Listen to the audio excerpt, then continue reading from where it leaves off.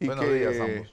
Buenos días, Nicolás. Buenos días, Manuel. Días y que tiene, un tremendo currículum, tiene acá el muchacho acá. ¿Cuántos años tiene tú, Sí, bueno, tengo 26 años. Efectivamente, he estado bastante interesado en lo que es las políticas públicas, trabajar por mi país.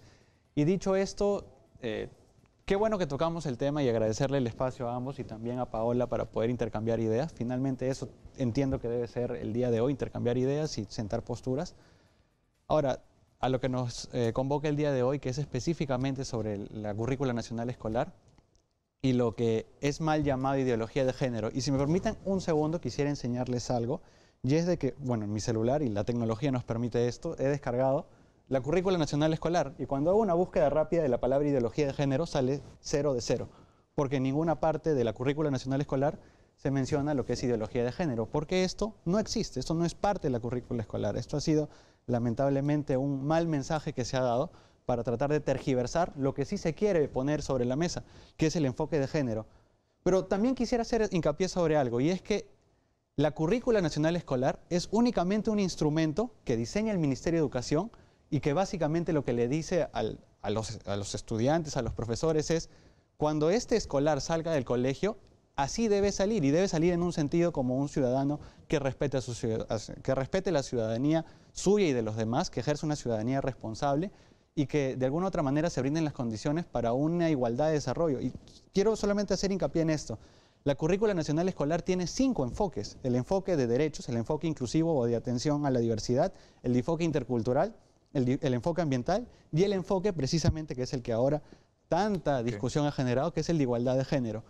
La igualdad de género no es sino otra cosa que reconocer que dentro de nuestras diferencias individuales, que también pueden ser físicas y biológicas, y en este caso comparto con ellos, partiendo de esa premisa que somos diferentes biológicamente, también partimos de que a nivel de la sociedad, la sociedad no, ha impuesto roles a lo femenino y a lo masculino. Y de hecho, el colectivo Con mis hijos no, te metas también trabaja sobre esos roles, eh, diciendo que el rosado, como es parte de su logo, es femenino y el azul es masculino. Lo único que, queremos y que es importante destacar es dos cosas. Primero, no existe una fórmula mágica, una política pública que va a solucionar todos los problemas del país. Y lo digo porque probablemente, y es algo en lo que se ha ido tergiversando la conversación, el enfoque de género no va a solucionar los problemas de violencia contra la mujer, no va a solucionar el embarazo adolescente, pero va a contribuir a que se reduzca. Y, perdón, solo para terminar, tengo precisamente las cifras para demostrar que el enfoque de género que se ha ido implementando desde el año 2004 a través de la resolución ministerial 066-2015 ha precisamente contribuido a que se vayan reduciendo estas cifras, no desapareciendo, pero sí reduciendo. Muy bien. Vamos a que escuchar a Paola, por supuesto, y hay que dar el tiempo correspondiente para ser justos. No hay ideología de género y sin embargo la movilización de mañana se convoca para declarar en emergencia al ministerio por la ideología de género. La escuchamos, Paola, adelante. Eh, gracias por la invitación y aprovechando antes que se termine el programa, eh, convocamos a todos el día de mañana la marcha a nivel nacional. Pueden eh, entrar a la página de Con mis hijos no te metas y ver en la ciudad en qué plaza, en qué lugar vamos a estar desarrollando la marcha. Es, una, es un paro y gran marcha nacional convocada el día de mañana. Punto de concentración en Lima tenemos, es en la Plaza Hacho, Manco En 2 de mayo y todos vamos a estar todos juntos el día de mañana. ¿no? Se ha tocado varios temas definitivamente no vamos a encontrar el, término ideología de género en el currículo nacional. O sea, cualquiera puede buscar, no lo vamos a encontrar, porque no se, no se trata aquí de un tema de, de, título, se trata del contenido. ¿Qué es lo que contiene el género? Y si es ideología, porque estamos hablando de ideología, es un conjunto de ideas, en este caso de qué, del género, que por cierto no es científico. No hay ningún estudio científico que respalde la pseudoteoría, como dicen llamar ellos, pseudoteoría del género. ¿Por qué?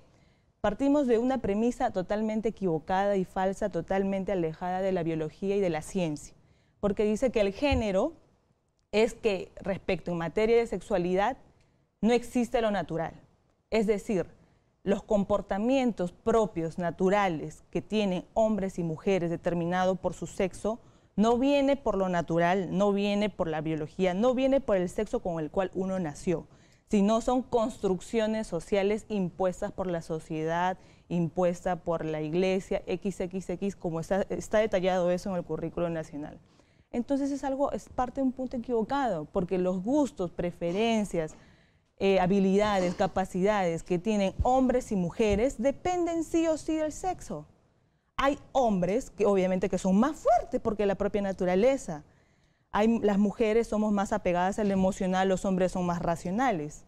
Entonces, No necesariamente. en, en- en- en el conjunto, o sea, digamos en, en un porcentaje en su mayoría, no hay, es- excepcionalmente hay personas que no corresponden, digamos, a esos detalles, pero eso es lo que dice Yo te la estoy ciencia. escuchando muy racional. ¿no? Es lo que dice- Extraordinariamente Es-. Más racional que yo. es Aquí lo que- parece los, los invertidos, pareces el hombre y lo la que mujer. dice- y me he sentido de pronto muy Medio femenino. mujer me sentí, porque no, soy una persona es lo que sensible. dice, porque siempre la ciencia habla de un porcentaje en, en su mayoría, ¿no? Y permíteme terminar, Sí, sí, porque, por favor, por favor. sí, sí, cómo no, por supuesto. Entonces, este, no se trata de un tema de, de- de- de títulos que vamos a encontrar. ¿Y dónde dice ideología?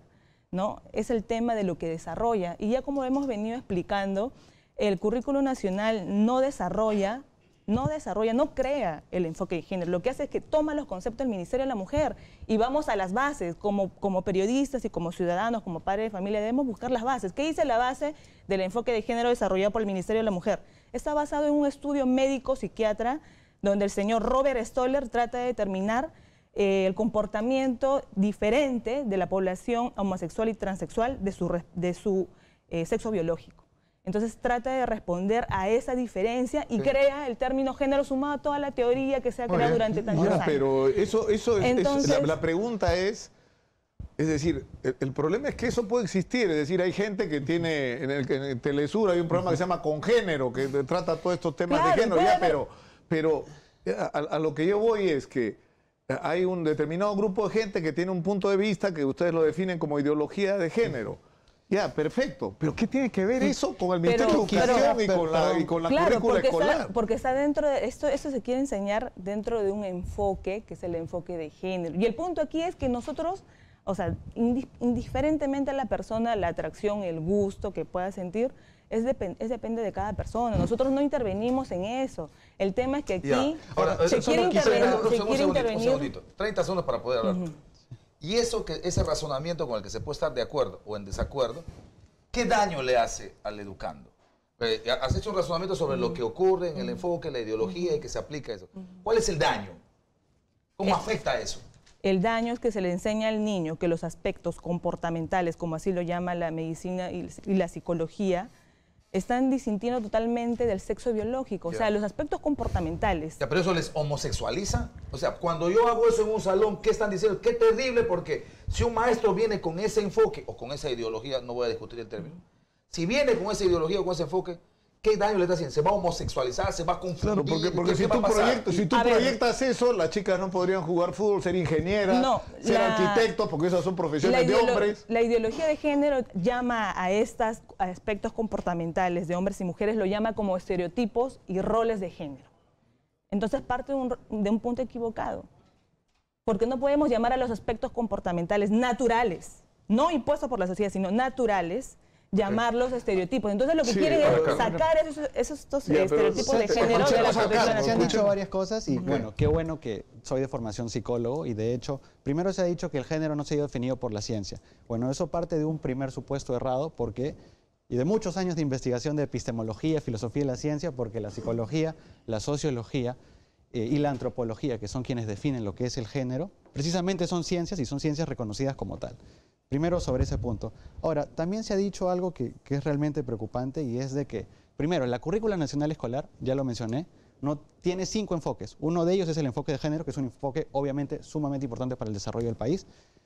Pero hay algo que sí es importante desmitificar, ¿no? cerrar ese mito, y es de que se ha dicho de que la, la currícula nacional escolar, y creo que es oportuno que hablemos de la currícula nacional escolar y no solamente del enfoque de género, y no solamente de algo que no existe, que es la ideología de género, sino, y se ha dicho de que busca guiar cierta orientación sexual en nuestros niños o que tengan ciertas preferencias sexuales, lo cual es falso. Lo único que dice la currícula nacional escolar es, que les dice a los, a los escolares, porque no, no necesariamente son niños, es, mira, ¿sabes qué?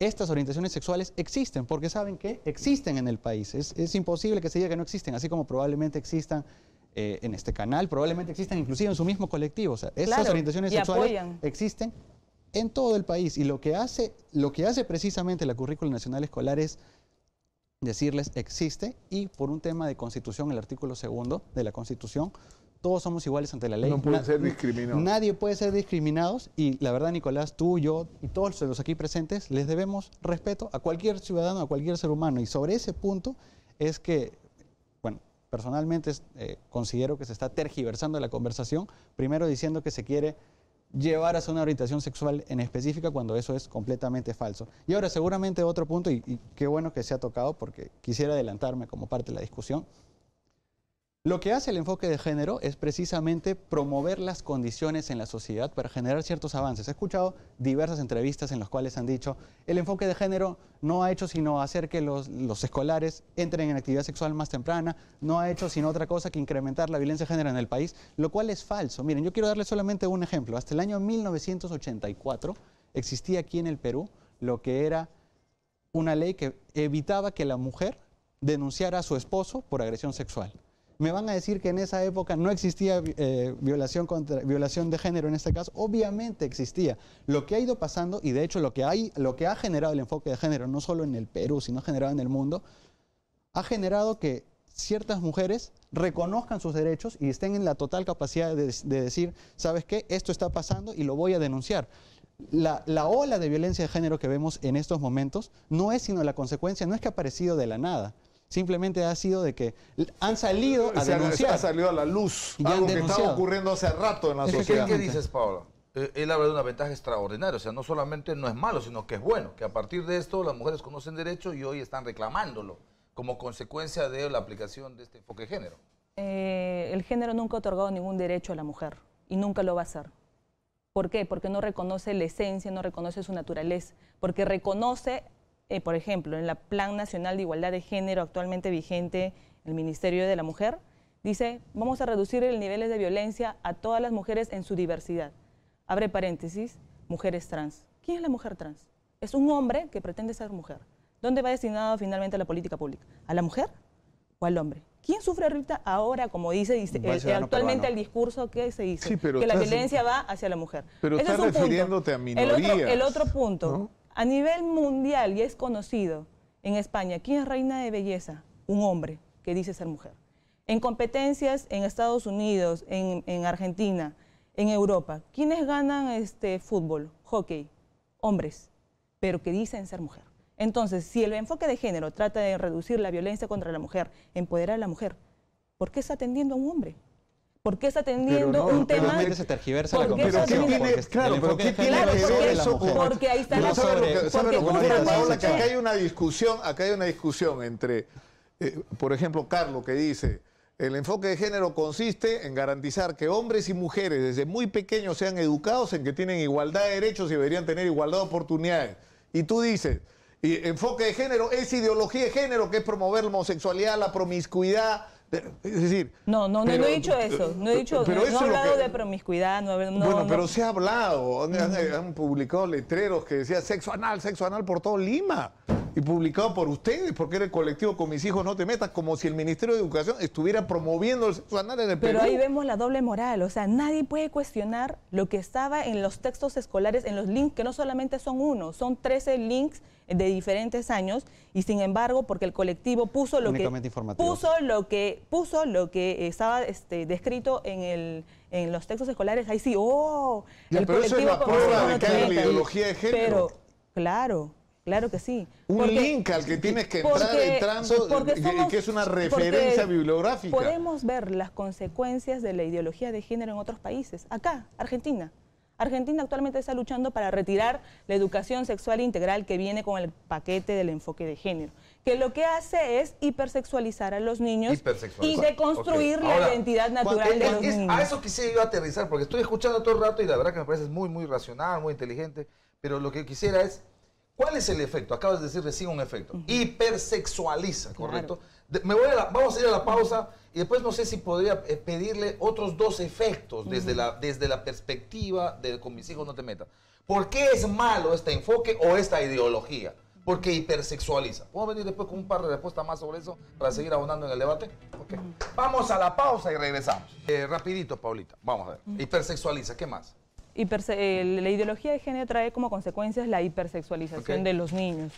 En primer lugar, de la deconstrucción natural de la identidad de los niños, porque le dice, Y Eso eso es- es confusión, ¿verdad? Eso es confusión porque le dice vamos. como estereotipo, le dice, ese no es tu estereotipo. Tú puedes cambiar los roles. Correcto. Puedes ser hombre o puedes ser ¿Qué mujer. más? Eh, confunde, eh, hipersexualiza, ¿y qué más? Eh, restringe el derecho de los padres a participar en la política educativa de sus hijos. Restringe la patria pero- potestad. pero me suena raro que te- seas una de las muy pocas que no dice que homosexualiza. No homosexualiza la educación, este enfoque. Lo que pasa es de que al momento de distorsionar la identidad natural dependerá de, de los padres, dependerá de él mismo si finalmente adopta o no una conducta distinta a su decir, identidad eh, natural. al, al quitar el concepto científico desde ustedes, Claro. del concepto de sexo, termina confundiendo al niño y eso puede ser un elemento para que se homosexualice.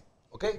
¿Estoy Para- interpretándole bien? Lo que pasa que si ahora entendemos las distintas orientaciones sexuales y las diferentes identidades de géneros, que son más de 100, ¿no? incluido la transespecie, trans eh, No, que, es- son, que son reales, que en Canadá sucede intergeneracional, puedes adoptar no solamente esa conducta, sino otras identidades de género. ¿no? Yo tengo una pregunta, pero antes, antes eh, hay una información eh, eh, urgente. El expresidente Alejandro Toledo presentó un recurso de habeas corpus ante el Tribunal Constitucional, aunque ustedes no lo crean, con la finalidad, escuchen bien, de que se declare prescrito el delito de tráfico de influencia que se le imputa por las presuntas coimas que habría recibido de Odebrecht para beneficiarse con la licitación del proyecto Interoceánica Sur, tramos 2 y 3. ¿Ah? Esto es lo que acaba de hacer Alejandro Toledo Manrique. Se ha ido al Tribunal Constitucional a que lo declaren prescrito. Ay, No da ay, la ay. cara, pero sí da- Ay, sí ay, da ay. Ay, ay, ay. Perdón, Bueno, si- vamos, si, sí, me vamos, permiten, solamente quisiera, eh, bueno, primero decir, como empecé esto, que es algo que a mí me preocupa. Y otra cosa que me preocupa y que no se ha tocado es que hay un mensaje básico, hay una- un principio básico en la comunicación política, porque yo siento que esta es una- un, un discurso que se ha politizado y que no se está hablando desde una plataforma social como debería ser. Y la regla básica de la comunicación política es da y da y da y da el mismo mensaje, así sea falso. Y en este caso se está dando y dando y dando y dando un mensaje, por más que es falso, que es de la ideología de género. Porque la ideología de género no existe, lo que existe es un enfoque de género. Y por ende, yo, y es mi postura personal, considero que este debate, esta plataforma social, es una plataforma política. Ahora, también sobre lo que han mencionado los puntos para ir eh, dando mi opinión respecto al punto por punto.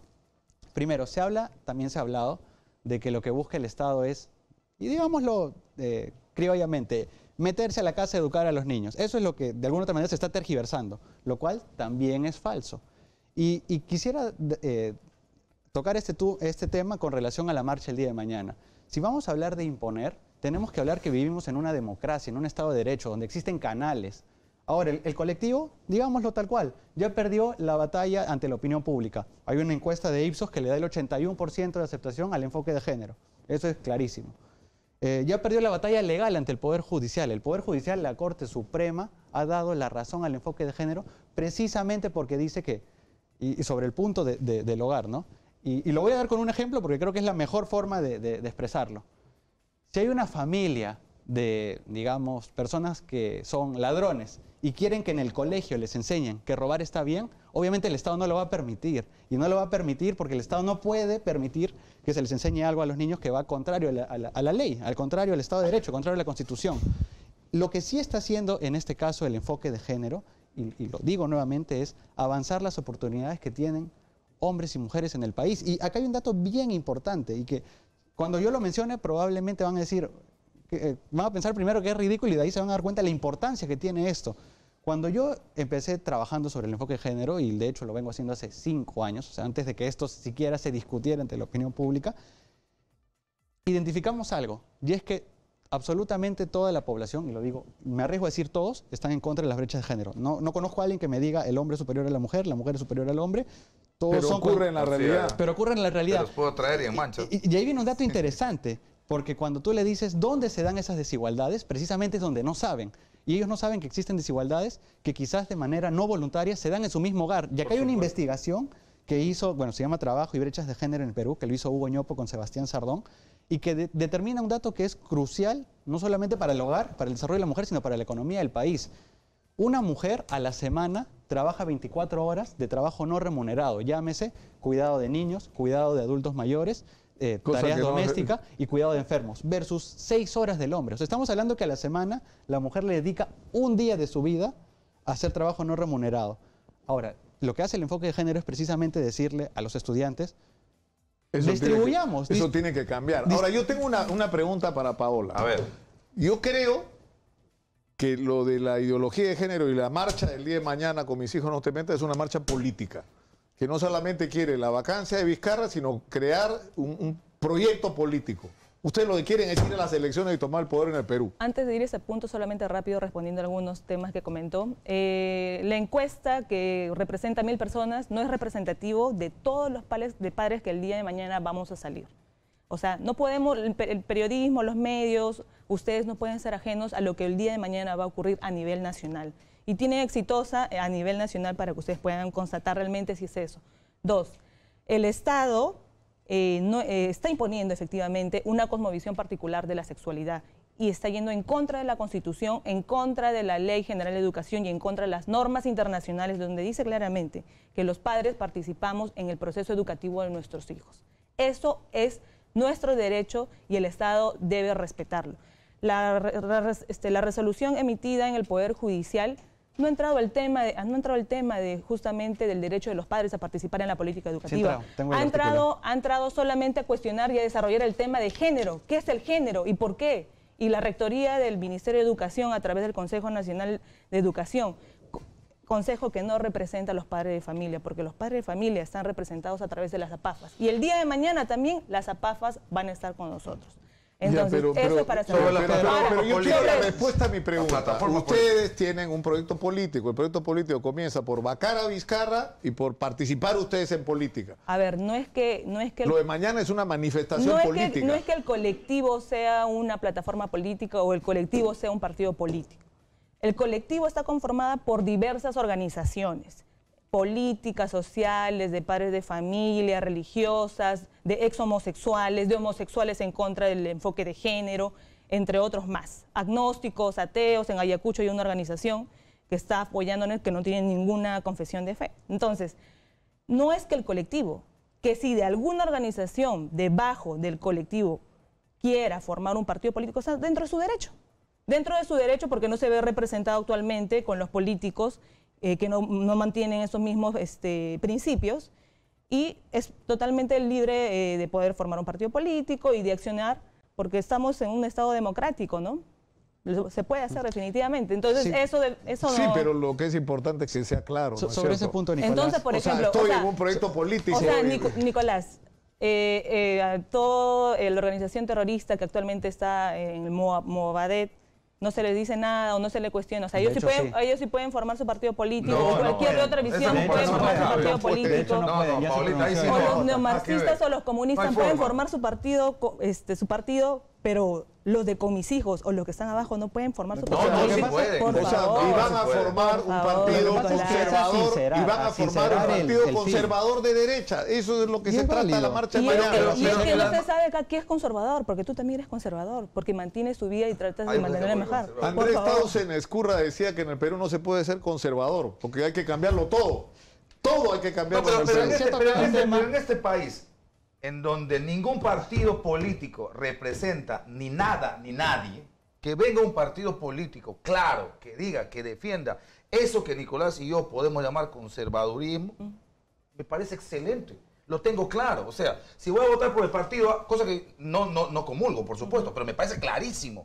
Porque hoy dígame, ¿a quién representa el APRA? ¿A quién representa Acción Popular? ¿A quién representa, bueno, pues, este, Pe- Peruano por el Cambio? A nadie. Ma- Manuel, y a nada. Si va a salir un partido del corazón de con mis hijos no te metas, llevando esta que es una, bueno, pues una demanda, una discusión de un grupo de ciudadanos, un millón, diez, cien o mil o veinte millones, no sé, pero que represente a 10 a 10 millones y que quiera llegar, bien, yo ya voy a saber y saber por quién votar o por quién no votar. Exactamente. Manuel, hace poco estuve en Iquitos y en Iquitos, ¿cuál es la realidad de, de- de la educación en el Perú? ¿Por qué, no, se- ¿Por qué el ministerio se centra tanto y este gobierno, el ingeniero, el gran solucionador de todos los problemas? En Iquitos, No, no, un profesor no tiene que cierto. estar Es seis de horas en un deslizador para llegar a esa comunidad. No, pero- hay, no hay pero- infraestructura. pero los que niños los están que han convertido esto en hay tantos, problemas de, hay tantos problemas de educación Ese es que ha político. sido No, definitivamente escúchame, advertido escúchame, y, y Paola, el yo- enfoque yo de soy- yo soy género de- trata yo de soy- solucionar todos estos problemas. Yo soy de Iquitos y ¿sabes cuál es el principal problema de Iquitos? En el, El tema del tema de género. ¿Sabes qué son las, las chicas?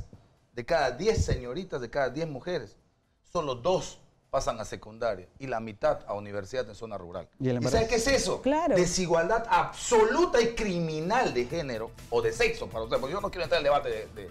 de, de, de- De lo que quiera, de lo que términos. quiera. De Claro. sexo, le digo sexo. Entre hombre y mujer, de cada 10 chicos, hombres, 6 pasan a la secundaria y probablemente 4 a la universidad. La mayor, la mayor lo, lo más terrible de esto es la violencia contra la mujer, que es un tema de desigualdad impresionante. Y Y para, zona rural. claro, y para eso está el rural. enfoque de derechos Esto, humanos que está en el currículo nacional.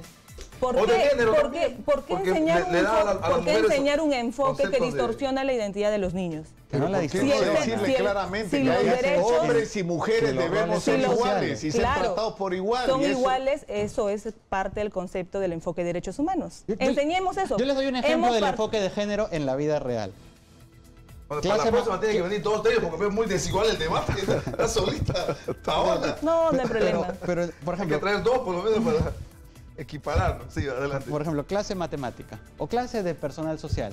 La mamá cocina, el papá trabaja. Y esto no hace sino reforzar lo que ya mencioné, que la mujer tenga 24 horas de trabajo no remunerado y el hombre 6. Y esto tiene obviamente efectos en la economía. ¿Por qué? Porque evidentemente hace que esas 24 horas que la mujer le dedica al trabajo del hogar, que no está mal, pero hace que le dedique menos tiempo a cosas de su desarrollo personal, de su desarrollo profesional. Tenemos, tenemos que terminar por, por, bien. por el día de hoy. Pero va- vamos a estar atentos a la marcha de no, mañana. además estamos abiertos a esta discusión. Creo que uno de los espacios donde más han podido ustedes manifestar sus puntos de vista ha sido acá. Y hemos discrepado porque no estamos de acuerdo, pero respetamos absolutamente su derecho y peleamos porque ustedes tengan derecho a ser es la escuchados. idea. Esa es la idea. No, de eso Muchas se gracias. trata. Gracias a ambos. ¿ah? Gracias. Muchas gracias. Nos vamos a la pausa, regresamos con más. Esto es Exitosa, la radio del Perú.